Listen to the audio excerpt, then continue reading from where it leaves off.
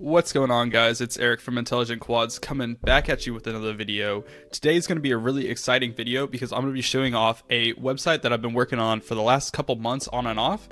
And this is a really cool website because it allows you to select an area of the world and generate the terrain as well as the aerial uh, imagery of that terrain area and it'll output a gazebo model. So that means that your robot or your drone can roll around or fly around the area in which you're interested in simulating, and then in the future, that'll help you when you actually go and do the real mission. So, without further ado, let's get into this video.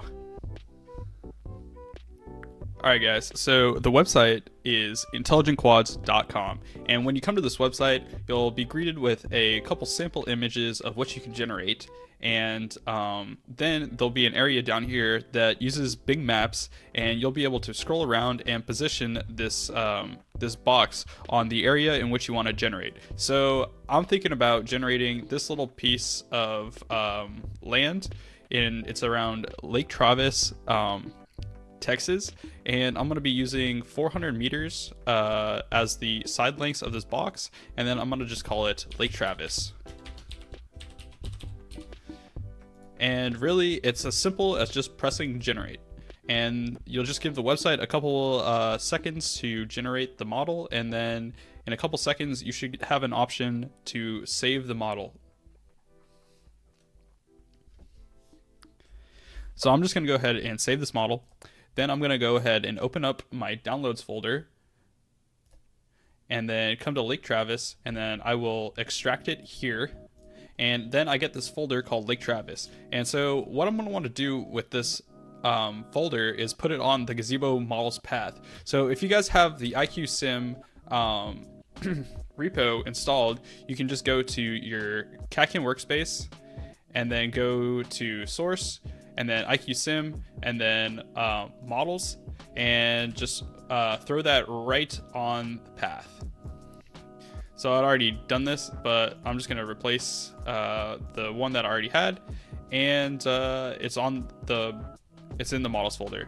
So if you don't have the IQ Sim models uh, if you don't have the IQSim repo downloaded, you can just uh, open up a terminal and then do echo dollar sign, gazebo, uh, models, and then path. And then this will show you the um, places that you can put your model. And if none of those places um, work for you, you can then just run this command down here, which is exports gazebo models path, and then what is currently on the path, and then colon um, the path to wherever you put your model. And that'll allow Gazebo to find the model that we just generated. So now let's go ahead and open up Gazebo. So go ahead and type Gazebo in the console.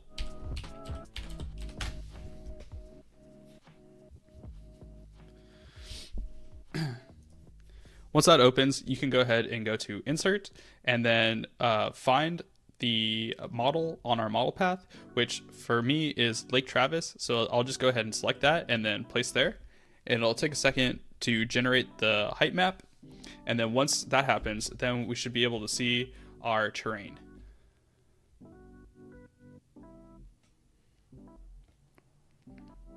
So this is a relatively flat area, but um, if you zoom out, you can kind of see that the water is lower than the uh, than the land, and this is a this is this will be a good map to start on. Um, but if you want something more dramatic, consider generating a mountain and you'll have some pretty epic scenes. Alright, so that's it for this video. In the next video, I'm going to be showing you guys um, how we can use ArduPilot uh, and the model that we just generated to um, test out some of the missions that we want to we, we, might want to fly in real life. So thanks you guys for watching. Uh, I'll see you in the next one.